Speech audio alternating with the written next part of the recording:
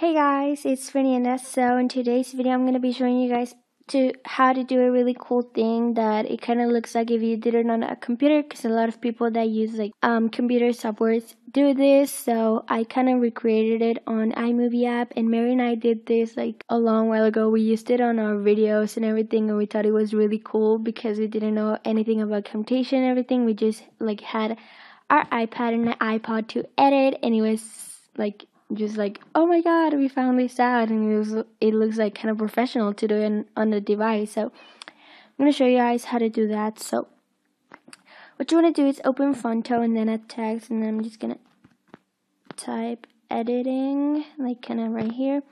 Then you wanna save this, and then you don't wanna save this like two texts in one. So if you guys know what I'm trying to say, you will see. But now I'm gonna put hacks and then I'm going to put it like right there. Right there. Okay, that looks good. Now you want to save the image. Now what you want to do is go to iMovie.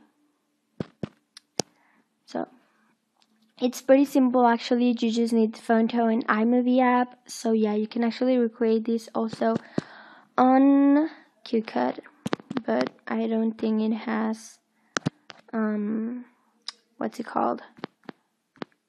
I don't think it has sound effects CapCut but what you want to do is just pinch it so the thing doesn't move and then just do the same just for it not to move. Kind of right there. Yeah that's perfect.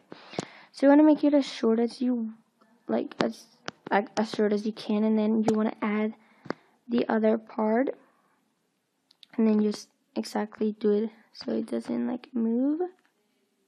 Just make it fit both of them I recommend using a picture which is the YouTube dimensions 1280 by 720 but I just didn't have that for the video so just didn't do that. But I recommend doing that like using a white a white background with the correct dimensions. So once you see it doesn't really move at all, you want to do it as short as you can, as I said. Now what you want to do is add audio and then sound effects and then I really like the golf hit one. So I'm going to search for that. Golf hit. Add that. And then add another one right there so sound effects. Put the same one obviously.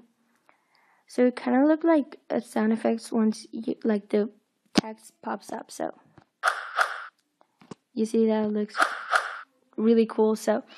Yeah that's everything for this video. I hope you guys enjoyed this video and if you did give it a thumbs up and i'll see you guys next time. Bye